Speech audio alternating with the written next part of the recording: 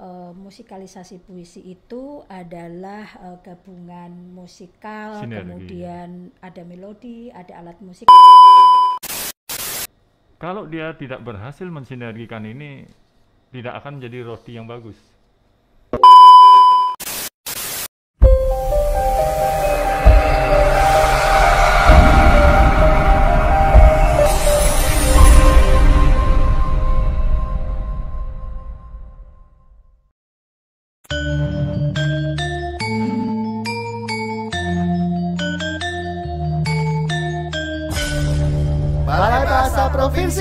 Melayani dengan cinta.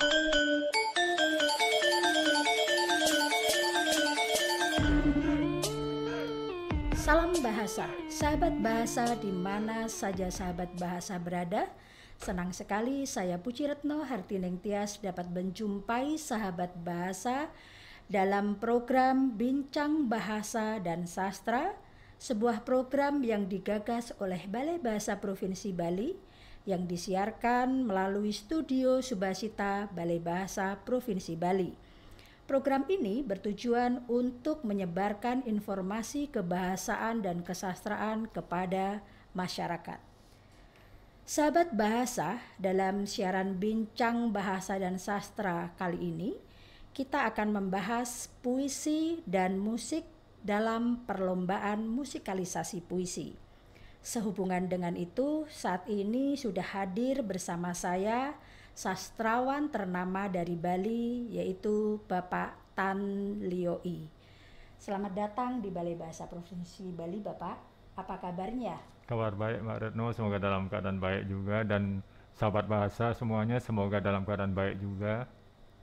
Baik Pak Tan, sebelum uh, kita berbincang terkait puisi dan musik, izinkan saya untuk membacakan biodata singkat Pak Tan Lioi. Pak Tan sering dipanggil Yoki ini lahir di Denpasar 1 Juni tahun 1958. Beliau terkenal sebagai penyair Indonesia asal Bali dan merupakan penyair pertama Indonesia yang melakukan eksplorasi atas ritual dan mitologi Tionghoa dalam puisi bahasa Indonesia. Karya-karya Pak Tan tercatat banyak sekali, baik itu secara pribadi atau antologi eh, individu maupun secara antologi bersama. Karya Pak Tan tahun 1991 berjudul Kita Bersaudara dan diterjemahkan ke dalam bahasa Inggris oleh eh, Pak Tom Hunter Sahabat bahasa, karya yang lain dari Pak Tan Lioi adalah Malam Cahaya Lampion dan ini ditulis pada tahun 2000, 2005 dan diterjemahkan oleh Linda Vaute dalam bahasa Belanda pada tahun 2008. Karya puisi Ciamsi yang ditulis dan terbit tahun 2015 ini diterjemahkan ke dalam bahasa Prancis oleh Elizabeth de Inandia pada tahun 2017. Karya-karya yang lain tersebar di media massa maupun di antologi secara bersama. Baik Pak Tan, sebelumnya saya ingin bertanya terkait musik dan puisi. Apakah lebih dahulu kita membicarakan puisi atau musik dulu? Karena ini berkaitan dengan perlombaan musikalisasi puisi. Bagaimana menurut Pak Tan kriteria puisi yang dapat dijadikan eh, bahan atau materi dalam lomba musikalisasi puisi? Atau terlebih dahulu Bapak bisa menjelaskan definisi musikalisasi puisi atau Bapak punya istilah lain terkait kehadiran puisi dan musik di sini? Baik, eh, saya pribadi lebih memilih eh, istilah puisi garis eh, datar musik eh, karena bagi bagi saya puisi pada dasarnya sudah musikal. Jadi tidak dimusikalisasi pun sudah musikal. Kemudian eh, istilah yang saya gunakan ini juga mencerminkan semacam sinergi antara puisi dan musik. Jadi eh, musikalisasi puisi menurut hemat saya adalah sinergi puisi dan musik untuk memberikan hasil yang lebih optimal. Jadi kalau dia tidak menjadi lebih optimal dalam konteks sampai ke publiknya dalam hal ini bisa menjangkau juga publik yang tidak konvensional sastra saja, tidak konvensional musik saja juga. Uh, mungkin suatu yang tidak perlu dilakukan, tapi ternyata dilakukan sejak lama, tidak hanya di Indonesia. Misalnya uh, Beethoven pernah mengubah uh, karya Schiller ke dalam komp komposisinya, yang sekarang malah menjadi semacam tim song Uni Eropa yang yang notasinya seperti ini.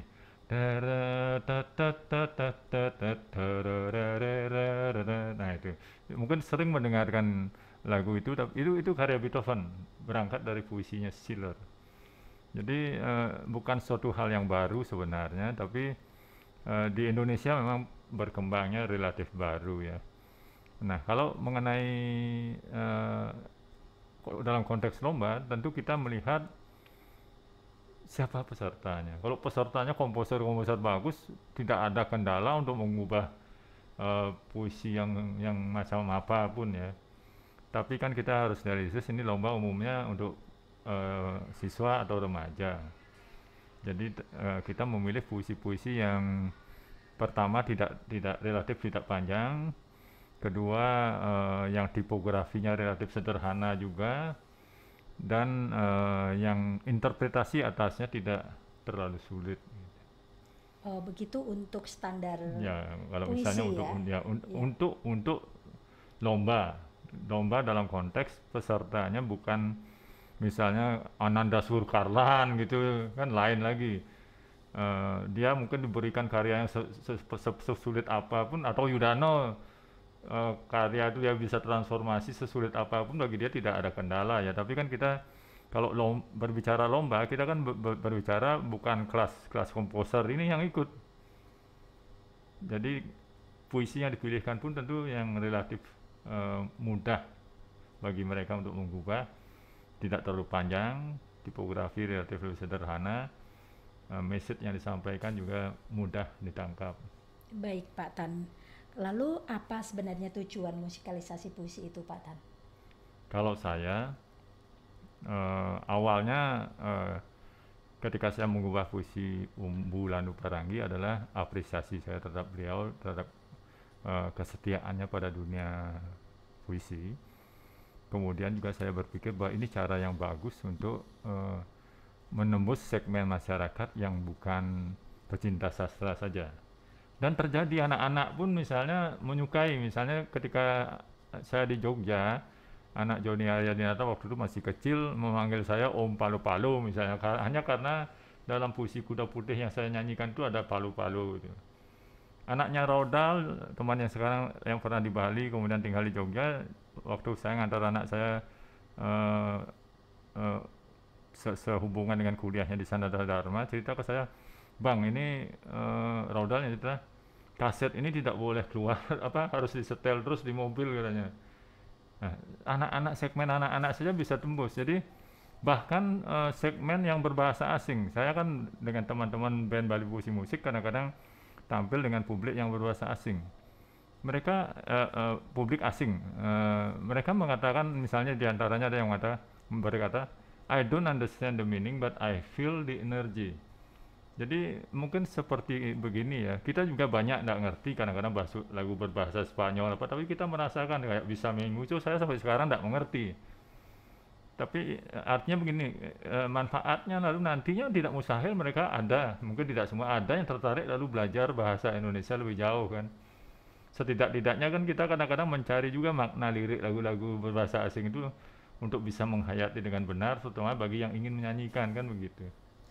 Nah, kalau untuk pandangan ini Pak Tan, uh, musikalisasi puisi itu adalah uh, gabungan musikal, Sinergi. kemudian ada melodi, ada alat musiknya, kemudian hmm. gabungan pentas dan pertunjukan. Hmm. Kalau Pak Tan dengan pandangan atau pendapat yang beredar di masyarakat seperti ini setuju tidak? Saya pertama yang harus menurut saya yang harus dilihat adalah sinergisitas dari puisi dan musik itu sendiri. Analoginya seperti ini kita bisa saja uh, uh, katakanlah ada chef kelas 1 dengan uh, ada chef gitu ya dengan bahan kelas 1 semuanya gula, pasir, terigunya, uh, uh, raginya, susunya. Kalau dia tidak berhasil mensinergikan ini, tidak akan menjadi roti yang bagus. Itu itu butuh butuh kemampuan yang yang agak ekstra juga karena dalam konteks puisi musik dia kan menggabungkan mensinergikan dua dua ya, dua dua kesenian ya. Uh, jadi tantangannya itu keberhasilan dalam sinergisitas itu. Nah, keberhasilan itu akan terwujud pada komposisinya kemudian juga pada bagaimana dia menghayati ketika dia perform gitu sayangnya kadang-kadang memang ini kritik saya semoga peserta lomba nanti belajar kadang-kadang mereka menjadikan denotatif dengan memvisualkan apa yang ada di puisi padahal puisi kan tidak denotatif gitu. Bermakna luas ya Pak uh, Baik Pak Tan, kalau kita bicara tentang musik dan puisi memang saat ini sedang tren-trennya ya. Dan semua balai kantor bahkan Badan Pengembangan dan Pembinaan Bahasa setiap tahun selalu melaksanakan uh, lomba musikalisasi puisi. Nah, uh, saya sebagai uh, orang awam ya terkait musikalisasi puisi. Kalau untuk puisi saya tidak tidak ini Pak Tan uh, sudah sering bahkan membaca sering. Nah, kalau menurut Pak Tan, uh, adakah jenis-jenis musikalisasi puisi yang perlu kita ketahui atau peserta yang umumnya anak-anak SMA ini? Saya uh, bukan dari uh, genre musiknya ya. Dulu kan kecenderungannya balad. Di Bali ini luar biasa perkembangannya. Tidak hanya balad lalu menjadi beragam sekali. Uh, dulu kecenderungannya akustik kemudian berkembang tidak harus akustik ini yang benar karena kan tidak kesenian tidak anti perkembangan teknologi kan uh, ke kecenderungan ya mbak ya ya kecender ke kecenderungannya seperti apa pak Tan? Kecenderungannya kalau dari dari dari dari perkembangannya tidak lagi semata balad tidak lagi semata akustik.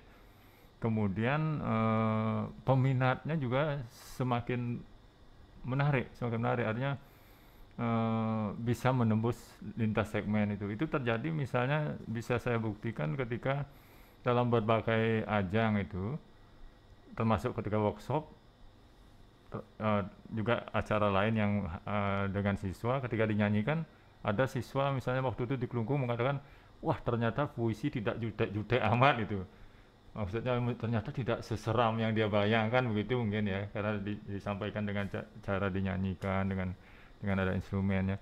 Nah, ini memang uh, salah satu alternatif uh, yang cukup bagus untuk uh, pengenalan uh, sastra dengan mensinergikannya dengan musik.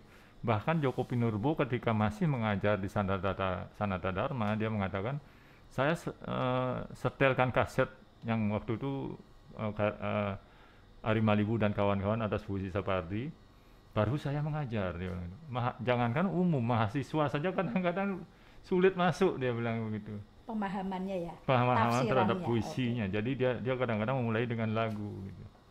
Dan memang seperti itu kan e, makanya saya pernah mendapat e, yang yang pendapat orang asing yang mengatakan semacam I don't understand the meaning but I feel the energy itu saya katakan jangankan anda orang Indonesia pun belum tentu mengerti apa yang disampaikan puisi itu. Baik Pak Tan, kalau untuk contoh puisi Pak Tan yang saya sering dengar itu aku ingin tuh puisinya hmm, Pak hmm, hmm. Uh, seperti Joko hmm. Damono. Kalau untuk puisi-puisi penyair Bali, menurut hmm. Pak Tan yang cocok dimusikalisasikan puisi, puisi-puisi siapa Pak Tan? Saya kira hampir hampir semua bisa ya dipuisikan kalau Sap, uh, Sapardi kebetulan waktu itu kan uh, gagasannya muncul kayaknya ada Jehan atau siapa lalu uh, mahasiswa mahasiswa UI kan Ari Malibu tadinya di Bandung kalau tidak salah lalu mungkin uh, di, di UI juga ada Neno Warisma tapi penyanyi utamanya Nana Tatiana dari UI Reda Godiamo juga dari UI mereka lalu membawakan karya Sapardi. Tapi kan tidak hanya Sapardi yang bisa. Misalnya kelompok kamp kelompok kampungan uh, membawa puisi Rendra misalnya ya teman-teman Brahma Kahehum dari dari Jogja ya.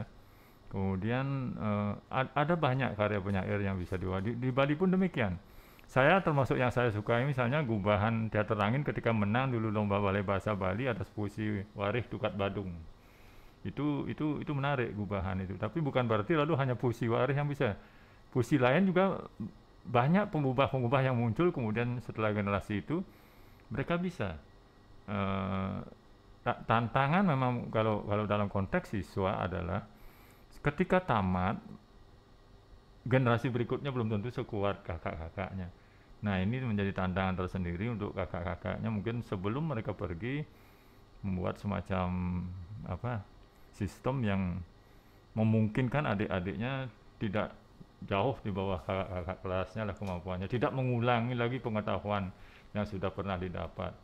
Itu sebabnya saya senang program Balai Bahasa sekarang untuk misalnya uh, loka, loka karya ya workshopnya uh, musikalisasi puisi atau puisi musik melibatkan juga pembina karena siswa bisa tamat pembina masih ada di sekolah atau hmm. guru masih ada di sekolah nah baik kendala terbesar saat ini ya Pak Tan jadi uh, peserta yang ternyata punya bakat dan menguasai puisi musik harus lulus dan generasi seterusnya di sekolah-sekolah itu belum tentu seperti kakak, uh, kelasnya. kakak kelasnya yang ada. Nah, ini menjadi catatan hmm. penting hmm.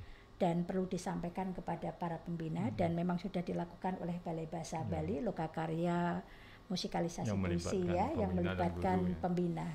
Baik Pak Tan, kalau saran Pak Tan kepada pembina dan adik-adik untuk sukses dalam musikalisasi puisi, setidak-tidaknya harapan mereka tentu ingin mendapatkan juara atau pemenang. Hmm.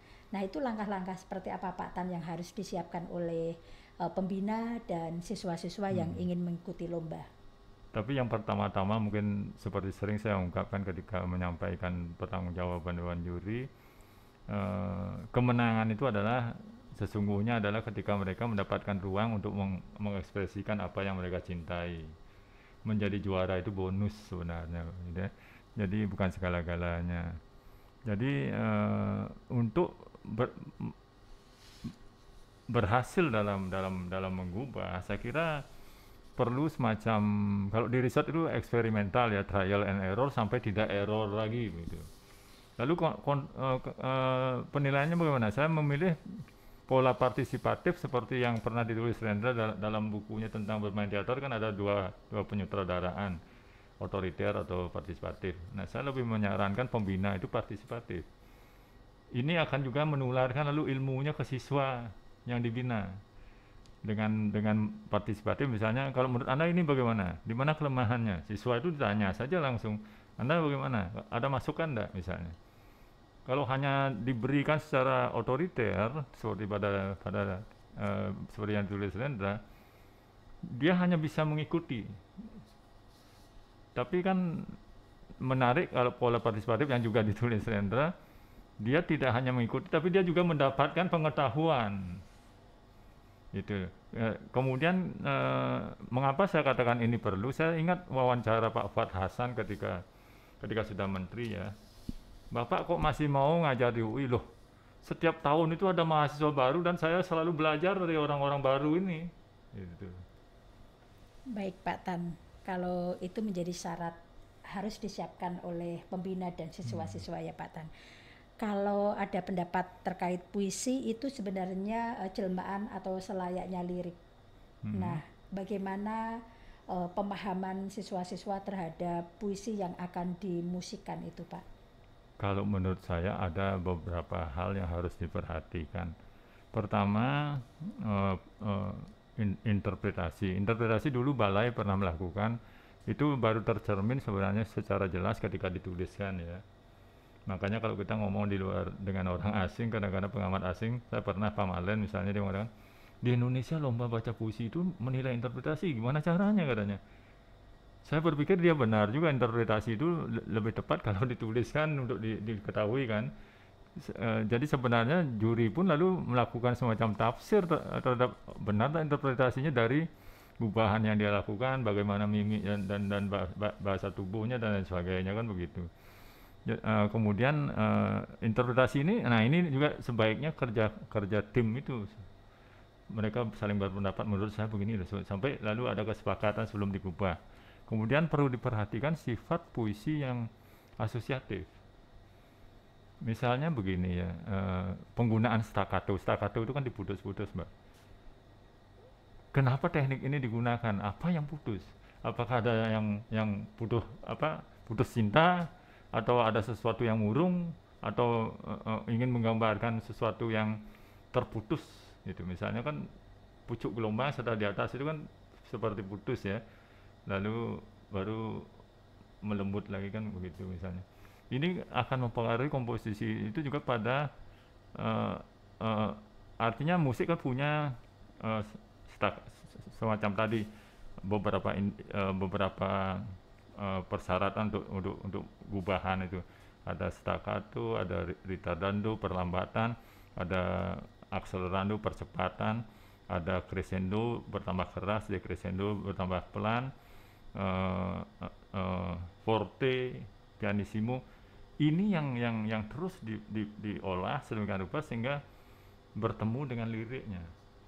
Ini juga mem- memperkaya lalu kompo- komposisi itu dinamiknya. Kalau tidak cukup kaya dengan permainan ini, permainan dalam tanda petik, itu yang disebut monoton. Jadi kapan dia lembut, kapan dia keras, kapan dia agak melambat, tentu harus sesuai dengan puisinya supaya tidak monoton.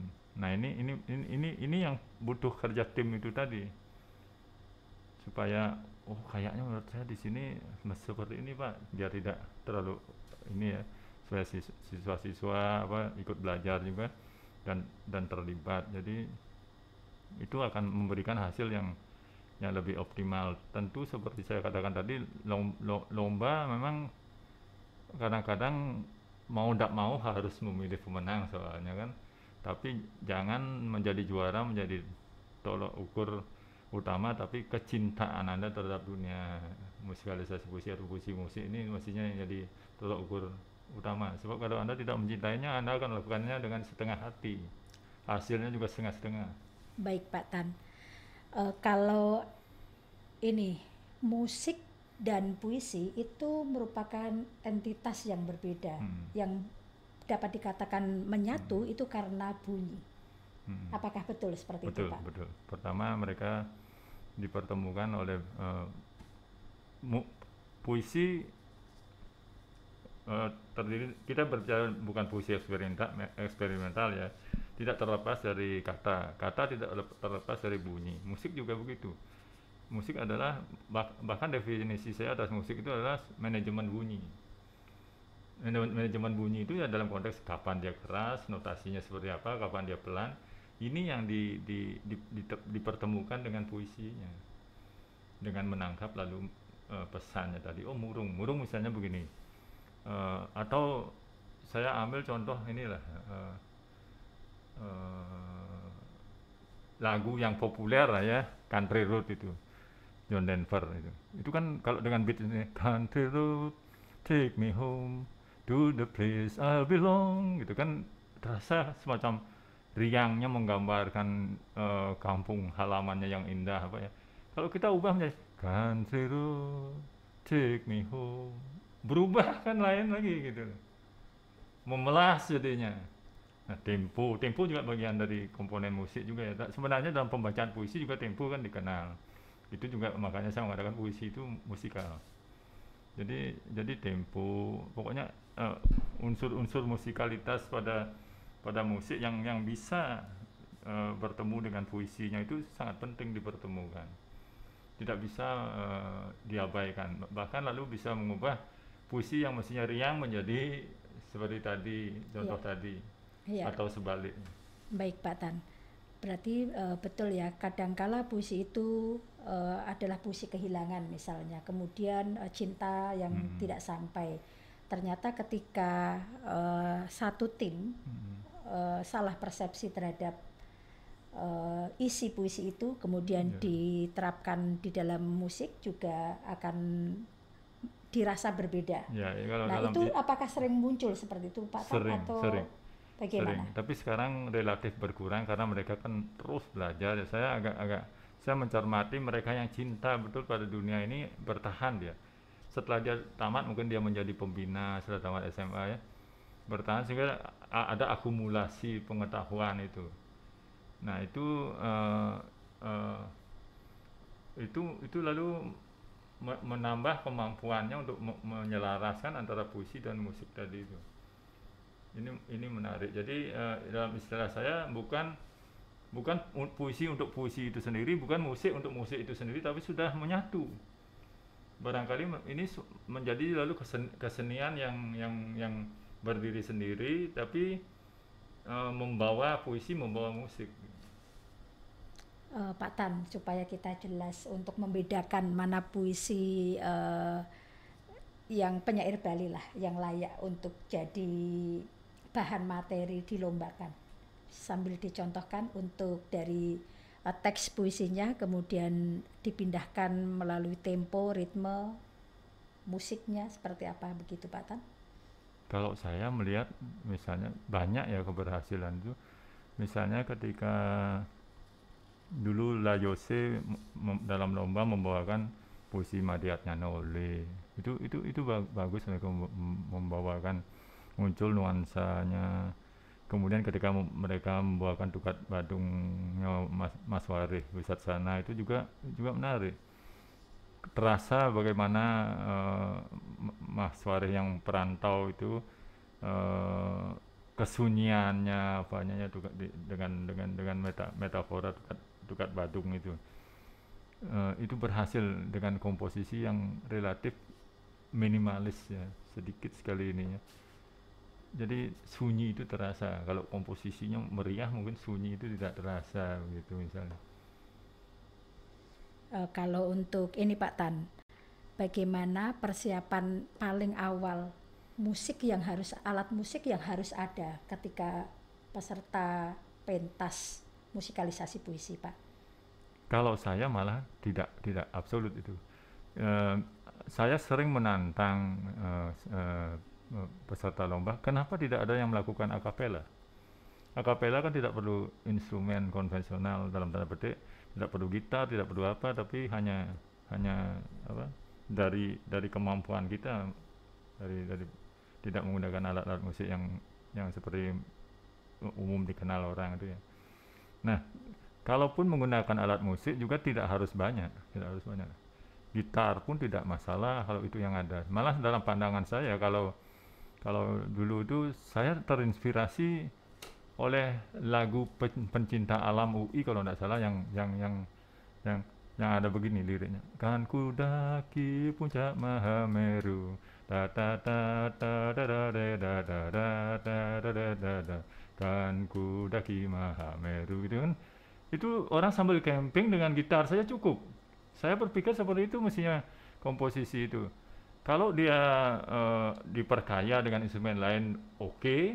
kalau kebetulan tidak ada hanya ada gitar juga bisa gitu loh. Kan enak gitu. Tidak sulit-sulit jadinya mau mau menyinergikan puisi dengan musik gitu. Gitu. Nah ini yang sering kadang malah saya melihat peserta musikalisasi puisi itu dengan musik yang memang sudah disiapkan. Memang belum ada yang uh, muncul dengan tadi seperti yang Pak Tan katakan, misalnya akapela atau jenis musik yang standar, yang ringan dan itu bisa ber, berterima begitu Pak Tan. Kalau terkait ini Pak Tan, uh, bisa tidak nanti musikalisasi puisi itu sejajar dengan musik-musik rock atau jazz atau uh, apa ya uh, rock rock rock jazz seperti itu Pak Tan yang bisa diputar di YouTube di kafe-kafe kopi ya istilahnya musikalisasi puisi itu tidak tidak kalah dengan musik-musik yang sudah berkembang di Indonesia. Menurut Pak Tan bagaimana itu Pak? Sangat bisa ya kalau kesempatan untuk terbuka ya. Saya saya terpaksa bercerita pengalaman pribadi ya ketika di Ubud Writers and Leaders Festival selesai tampil saya diwawancara oleh Mirna Ratna dari Kompas. Itu beberapa bule yang yang makan. Wawancaranya di restoran dekat venue kami tampil bali puisi musik tampil mendekati kami. Ha, hanya untuk mengatakan it was great gitu. Pengalaman lain lagi di di Sanur di Casablanca ya. Mayoritas publiknya kan orang berbahasa asing. Ada beberapa band yang tampil bersama Bali Puisi Musik. Kami dengan bahasa Indonesia, Mbak. Mereka membawa cover song eh, berbahasa di sana, bahasa aslinya. Ya, yang diminta nambah itu kami yang berbahasa Indonesia ini.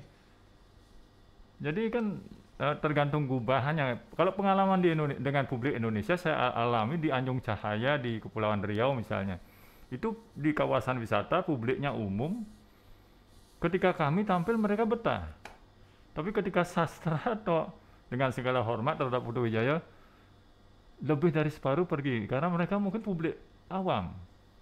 Sampai Joko Widodo mengatakan mestinya bandmu yang ditampilkan lebih lama. Saya jawab, tapi kan yang nyusun jadwal bukan saya. Apalagi yang ditempatkan di urutannya saya duluan, Putu Wijaya gitu loh. Yang nyusul jadwal bukan saya. Nah, yang juga terjadi menarik itu ketika kami tampil di Jakarta Convention Convention Center. Di situ ada banyak band yang tampil, cuma venue berbeda. Ketika ada saya bukan saya yang merekam, sering begitu, sering orang lain yang merekam. Di, di upload ke YouTube eh, tampilan Bali Puisi Musik itu ada komen lalu. Oh saya nonton orang ini gokil habis katanya gitu bahasa gaul gitu. Jadi sangat bisa cuman kesempatan saja ya karena bahkan saya yakin ini ini alternatif untuk men- menembus eh, cara lain untuk menembus eh, segmen di luar malah segmen di luar juga malah ya kalau kita perhatikan misalnya di, dalam konteks Indonesia ya Hari Rusli dan Tam- dan Ismail Marzuki itu tidak sederhana loh kata-katanya mbak. Juwita Malam misalnya ya engkau gemilang dada dada dada bagaikan ada dada dada kan misalnya.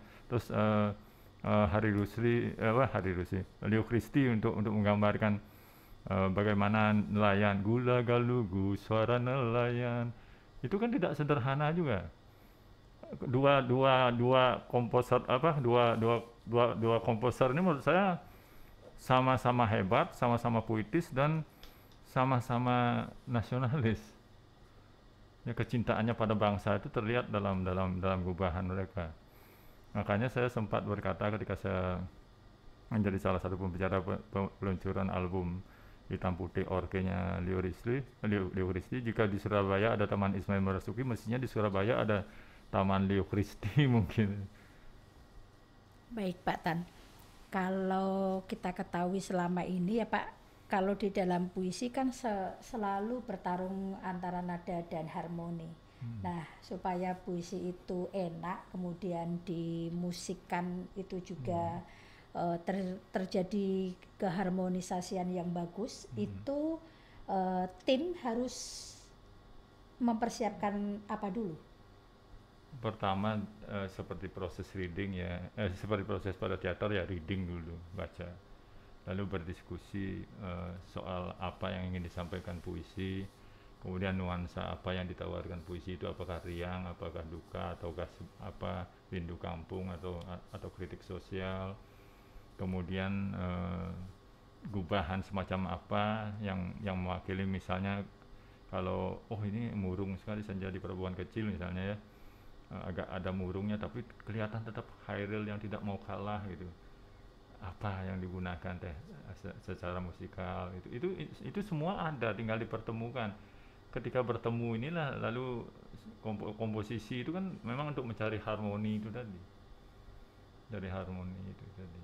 Harmoni. jadi segala di- dinamika dinamiknya perlu supaya tidak monoton jadi kapan pelan kapan keras dan sebagainya itu menuju harmoni tapi jangan salah dalam beberapa eh, eh, genre yang muncul kemudian ini sudah lama sekali saya ber- sempat berdiskusi dengan dengan Wayan Sadro dan saya belajar dari dari dari dia ketika dia menjawab mengapa harmoni mengapa disharmoni itu tidak dianggap harmoni yang lain?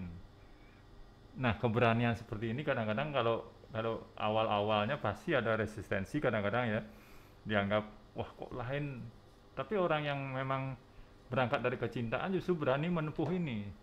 Sehingga eh, Wayan Sadro oleh eh, MB Ceno dikatakan anak nakalnya musik Indonesia karena jenius ya.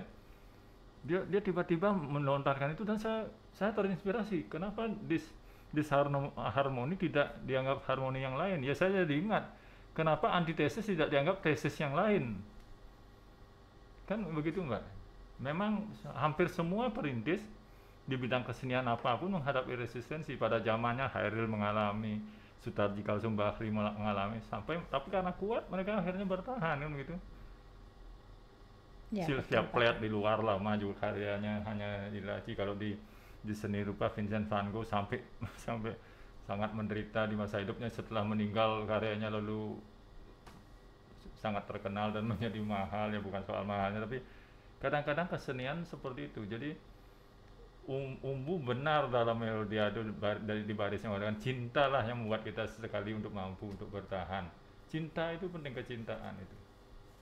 Kecintaan ya.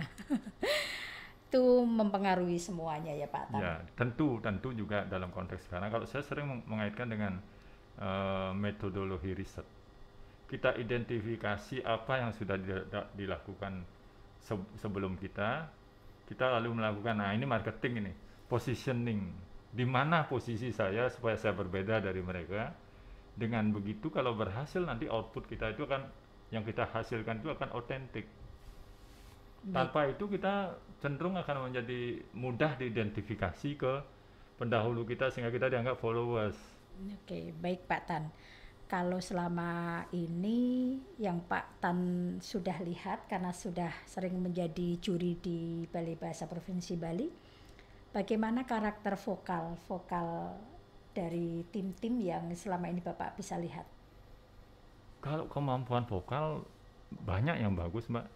Cuma kan seperti juga baca puisi, musikalisasi puisi, dia tidak sebatas kemampuan vokal, dia juga kemampuan tata vokal gitu. Kayak misalnya kalau kita ambil di Bali Wari Wisatsana, di luar Bali eh, ada banyak ya. Kan itu. Kalau kalau orang punya vokal bagus banyak, Mbak. Itu bawaan kadang-kadang. Eh, agak berat vokalnya ya, tapi kan belum tentu berhasil menggunakannya. Kadang-kadang mungkin ketika dalam lomba yang yang sedang saja vokalnya, tapi dia dia mampu mengoptimalkan, bisa menang, bisa menang. Jadi eh, eh, termasuk misalnya kalau dalam konteks kelompok tampil berkelompok, sering sekali orang mengabaikan eh, untuk mem- membagi vokal. Be- bernyanyi berkelompok seolah-olah menjadi bernyanyi tunggal. Itu kan sayang sekali mubasir yang lainnya. Itu. Jadi tantangannya di situ. Siapa ngambil suara dua misalnya kapan dia masuk? Kalau terus menerus juga tidak menarik kalau ngambil contoh misalnya ke lagu ke lagu ya lagu-lagu lama Simon and Edgar Funkel itu luar biasa pembagian vokalnya. Saya melihat di, di Bali beberapa eh, cukup menarik sudah melakukan itu ya. Dan saya ke- kebetulan juga suatu ketika meng- menghadiri suatu pernikahan eh, di katedral itu ya. Loh ini seperti teknik-teknik ini tidak apa belajar itu bisa dari mana saja gitu loh. Sama dengan penyair-penyair kan eh, Gunawan Muhammad misalnya lelaki yang apa menulis di pasir kan Nabi Isa maksudnya Yesus kan? Malah Su- Subagio juga banyak Subagio Sassowardoyo juga banyak ambil tidak masalah eh, ada universalitas yang yang yang bisa di- diambil. Kesenian itu universal. Kita tidak masalah belajar dari paduan suaranya gereja atau atau dari Gregorian atau apa teknik-teknik itu tidak tidak tidak ada masalah. Atau dari dari eh, eh, tradisi Eh, termasuk teknik yang yang teknik vokal yang digunakan dalam azan itu menarik sebenarnya menurut saya ya teknik vokalnya ya. Eh, ada banyak yang yang yang yang yang yang bisa dipelajari baik dari luar maupun dari dari di- dari dalam negeri sendiri. Eh, du- ini yang kita sering tertinggal Mbak. makanya genre-genre baru itu sering lahir di luar ya. Eh, seperti new music eh, apa eh, apa world music ya itu karena kita kurang berani untuk mencoba lain. Di situ saya senangnya ada ada ada komposer Wayan Yudano yang tiba-tiba membuat new musik for gamelan. Eh, saya dikirimi komposisi gitar tunggal. Eksplorasinya selama stay at home ini produktif sekali. Partiturnya panjang kami berdiskusi. Saya katakan ini mungkin orang yang paling tidak kemampuannya bisa memainkan partitur tunggalnya eh, komposisi tunggalnya Villa Lobos baru mampu memainkan komposisimu. Gitu. Eh, faktor kesulitannya terus kemudian bagaimana dia eh, bass itu sering sekali tidak tunggal gitu.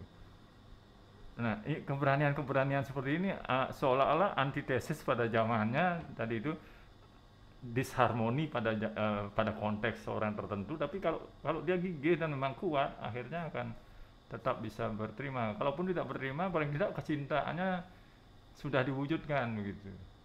Baik Pak Tan. Yang perlu diperhatikan saat ini ya Pak Tan. Apakah dengan mempersiapkan musik atau alat musik tradisional atau lebih menekankan pada alat musik modern? Saya kira alat bukan segala-galanya, boleh saja campuran. Itu kan gara-gara uh, uh, word music itu yang yang kemudian uh, ditinggalkan oleh Yudano. Dia dulu jago sekali karena dianggap banyak man manipulatif di dunia word music ini. Misalnya begini, ada orang mengambil begitu saja seperti aslinya Gayatri Mantram, Eh, lalu dimasukkan dicangkokkan ke musiknya mestinya bukan seperti itu kalau buat musik kan mengubah juga bukan dicangkokkan gitu makanya Yudana lebih memilih lalu new new klasik jadi tantangan uh, dalam musikalisasi puisi juga seperti itu. Katakanlah identifikasi saja Tandi apa yang dilakukan Harry dan kawan-kawan apa yang dilakukan Sanggar Matahari seperti apa dulu ada sound, eh, sampai sekarang mungkin masih ada Sound of Boom seperti apa uh, Ari Malibu dan Reda seperti apa kenapa dia pakai falsetto misalnya uh, diidentifikasi saja lalu saya maunya seperti apa. Nah ini yang kurang jangan saya maunya seperti Ari Malibu saya maunya seperti Sanggar Matahari ya itu yang salah menjadi pengikut mesti berani saya maunya seperti apa supaya berbeda dari mereka gitu. Uh, baik Pak Tan sebagai penghujung pertemuan kita hari ini. Uh, bisakah Pak Tan memberikan strategi atau pesan kepada peserta yang lomba musikalisasi puisi dan persiapan pemenang di tingkat Bali nanti akan mewakili provinsi Bali menuju uh, Jakarta. Nah, hmm. bagaimana kiat-kiatnya supaya uh, pembina dan siswa dapat lebih mempersiapkan diri terkait puisi dan musik ini dan kita kenal selama ini menjadi musikalisasi puisi Pak Tan? Saya pertama tetap ingin menekankan kecintaan dulu supaya tidak ada rasa kecewa bahwa menjadi juara itu adalah bonus saja. Karena saya sering saya pernah diskusikan ke Mbak Retno saya temukan kan kelemahan-kelemahan juara yang membawa puisinya Wayan Jengki Sunarto. Kan saya bertanya ke Mbak Retno tidak mencerminkan pesan yang disampaikan Wayan Jengki dan nuansanya kan? Dan Mbak lalu waktu itu menjawab ya karena kesalahannya di sini. Sini saya urai waktu itu kan. Jadi eh, kecermatan dalam tempo kapan pelan kapan keras dan lain sebagainya itu yang ada pada musik itu harus di, di dengan puisinya. Itu itu jangan jangan segan-segan untuk mengulang dan mengulang. Jangan belum apa-apa sudah menganggap final.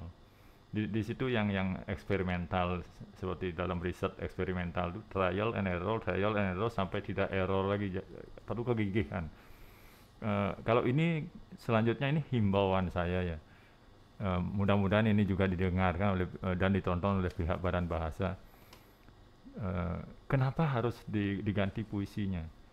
Di tingkat daerah, di tingkat wilayah, tingkat pusat membuat enam komposisi dalam waktu singkat itu bagi remaja tidak mudah. Nanti itu menjadi lomba antar pembina.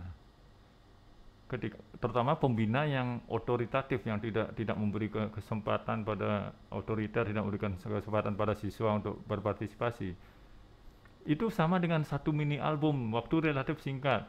Ada potensi lalu dia nyontek dari karya sebelumnya tinggal ganti lirik kan sayang. Walaupun karyanya sendiri juga. Tidak apa-apa tetap dalam bahasa daerah dan bahasa Indonesia karena yang menang di daerah itu tentunya bukan orang orangnya semata komposisinya juga.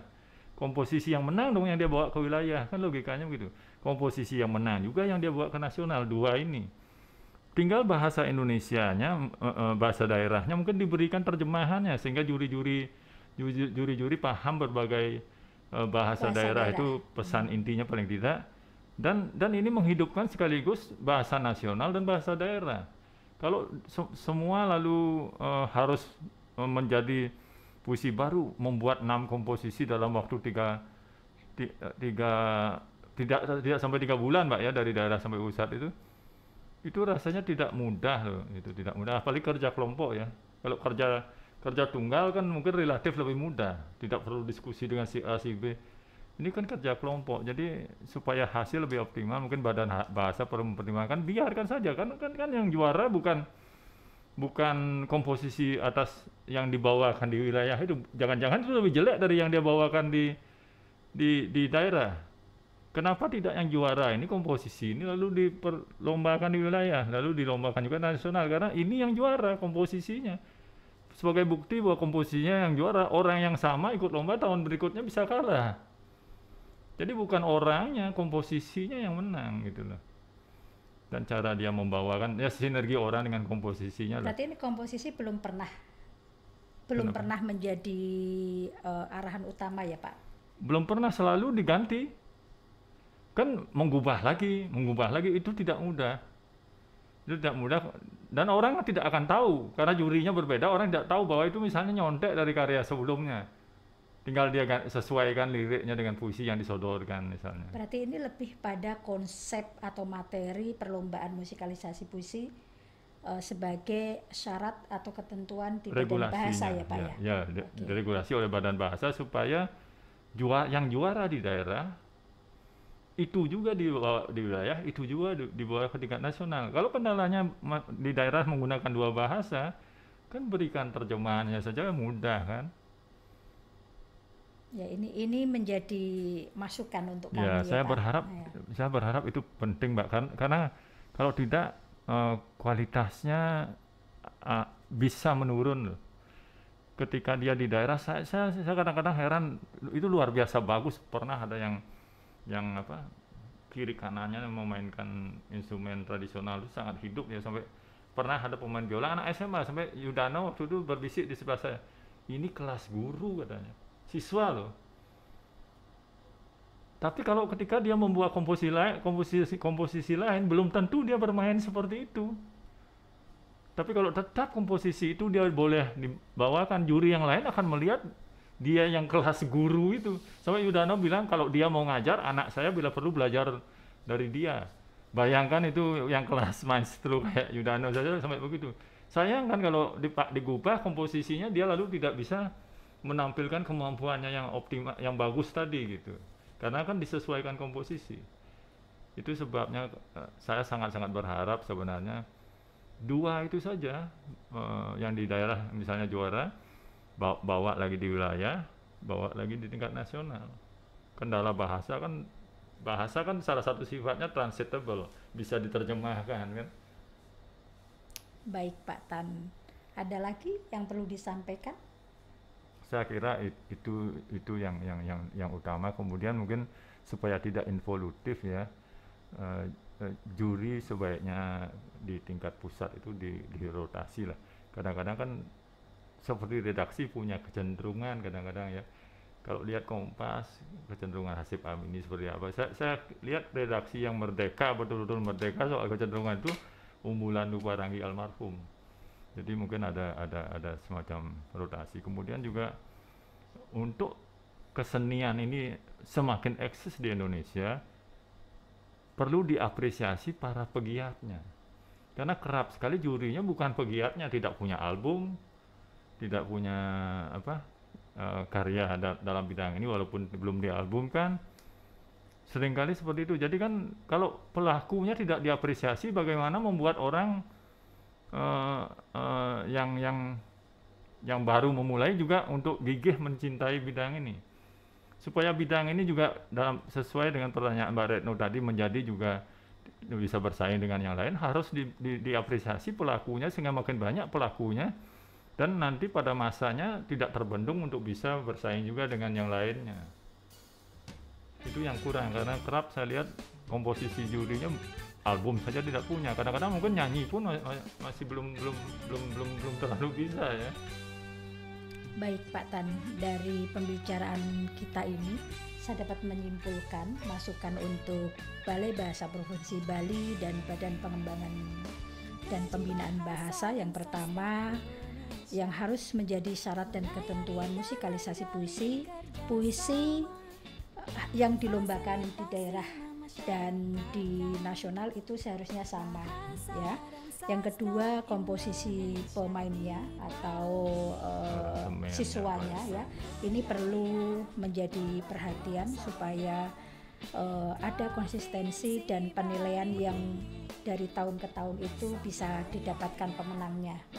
Yang ketiga rotasi juri ya. Ini selama ini mungkin jurinya itu itu saja. Bisa saja kan ditukar. Saja, Jakarta bawa ke Bali, yang Bali bawa ke Jakarta, atau Kalimantan bawa ke Bali. ya, perolingan ya. jadi uh, daerah ke Jakarta, Jakarta uh, ke daerah. Uh, nah ini menjadi uh, simpulan kita dalam perbincangan kita kali ini. Dan yang terakhir itu apresiasi penggiatnya ya Pak. Yeah.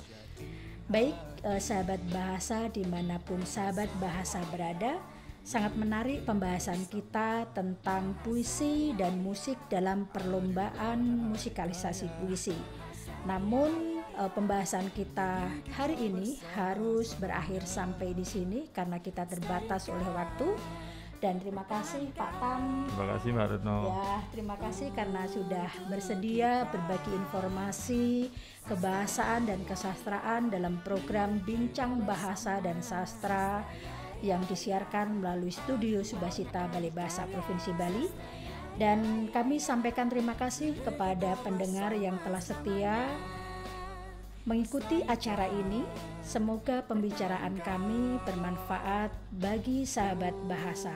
Terima kasih atas perhatian semua.